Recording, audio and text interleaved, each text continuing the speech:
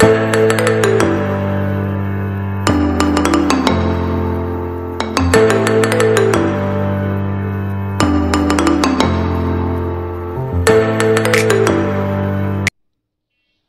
নারীরা যারা নতুন নতুন সংসারে অংশগ্রহণ করি, আমরা বুঝে উঠতে পারি না কোথা থেকে শুরু করব। আসলে সংসার জীবনটাই তো অনেক কঠিন। তাই আজকের সাধারণ কিন্তু অসাধারণ একটা রেসিপি নিয়ে চলে আসলাম নতুন যে সংসারী গৃহিণী আপুরা আছে তাদের জন্য। আসসালামু আলাইকুম, আমি লুবনা, লুবনাস কিচেন থেকে আপনাদেরকে আরেকবার স্বাগত জানাচ্ছি নতুন একটা রেসিপি দেখার জন্যে। আশা করছি যে যেখানে আছেন সবাই ভালো আছেন, আল্লাহর রহমতে আমিও অনেক ভালো আছি। তো আমি চুলায় একটি প্যান বসিয়ে তার ভিতরে রান্নার তেল দিয়ে দিলাম। দিয়ে দিলাম কিছুটা পেঁয়াজ কুচি এবং দিয়ে দিলাম চার পাঁচটা মরিচ ফালি করে। পেঁয়াজটা যখন একটু ভাজা হয়ে যাবে, নরম হয়ে আসবে, সেই মুহূর্তে দিয়ে দিলাম কিছুটা পানি, কারণ আমি এখানে গুঁড়া মশলা অ্যাড করব, তাই দিয়ে দিলাম একটা চামচ হলুদের গুঁড়া, দেড়টা চামচ মরিচের গুঁড়া, পরিমাণ মতো লবণ এবং ইলিশ মাছ। যে ইলিশ মাছগুলো আমি কেটে ধুয়ে ভালো করে পরিষ্কার করে নিয়েছিলাম, সেগুলোকে এখন আমি এই মশলাটার ভিতরে ভালো করে কষিয়ে নেব। জানি এই রেসিপিটা একদমই সিম্পল বাট যে নতুন গৃহিণী আপুরা আছে, তাদের জন্য এটা অনেক হেল্পফুল হবে। আশা করছি আমার এই ছোট্ট রেসিপিটা তাদের কাছে অনেক ভালো লাগবে।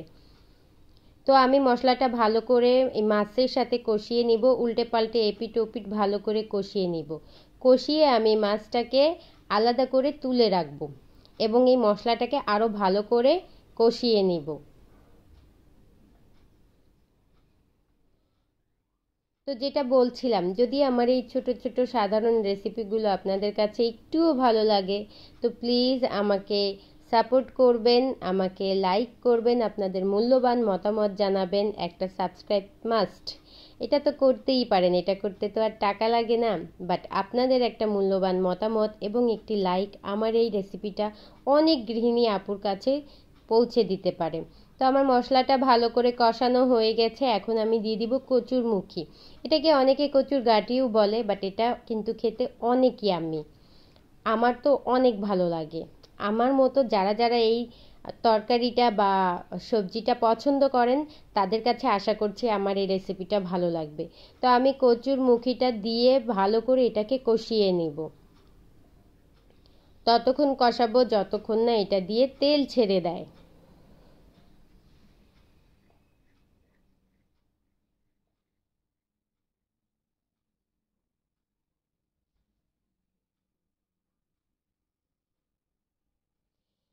তো আমার মশলার, আমার তরকারিটা কষানো হয়ে গিয়েছে।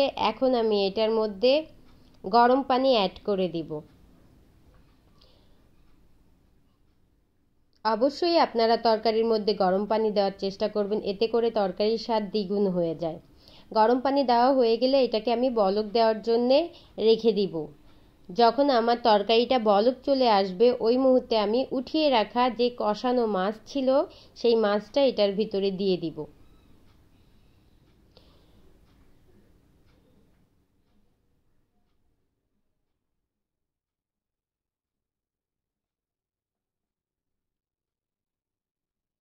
মাছটা দেওয়া হয়ে গেলে আমি আরও কিছুক্ষণ এটাকে রান্না করে নিব। এর মধ্যে আপনারা কিন্তু তরকারির যে স্বাদটা, লবণের স্বাদটা, ওটা একটু টেস্ট করে নিতে পারেন। যদি প্রয়োজন পড়ে তো আরেকটু লবণ দিয়ে নিতে পারেন।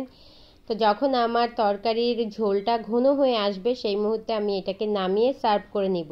ব্যাস, তৈরি হয়ে গেল সাধারণ বাট অনেক ইয়াম্মি একটা রেসিপি আমি জানি আমার এই রেসিপিটা একেবারেই সাধারণ বাট এই রেসিপিটাই কিন্তু অনেক নতুন গৃহিণী আপুদের কাছে অনেক কঠিন মনে হয়। তো আমার এই রেসিপি ফলো করে তারা যদি রান্না করে, আশা করছি তারা উপকৃত হবে। তো আমার পাশে থেকে যাবেন প্লিজ আমাকে একটা লাইক করে দিবেন। আপনাদের মূল্যবান মতামত আমাকে জানাতে পারেন। যে কোনো মতামত হতে পারে সেটা ভালো, হতে পারে সেটা মন্দ, যেটাই হোক আমাকে জানাতে পারেন। আমি চেষ্টা করব আমার সেই ভুলগুলো শুধরে নেওয়ার জন্য। আর যদি আমার কোথাও কোনো ভুল ত্রুটি হয়েও থাকে, তো আপনারা ক্ষমা সুন্দর দৃষ্টিতে দেখবেন এবং আমাকে ক্ষমা করে দিবেন। তো সবাই ভালো থাকবেন, সুস্থ থাকবেন, আমার জন্য দোয়া করবেন। আজ এই পর্যন্তই। আল্লাহ হাফেজ।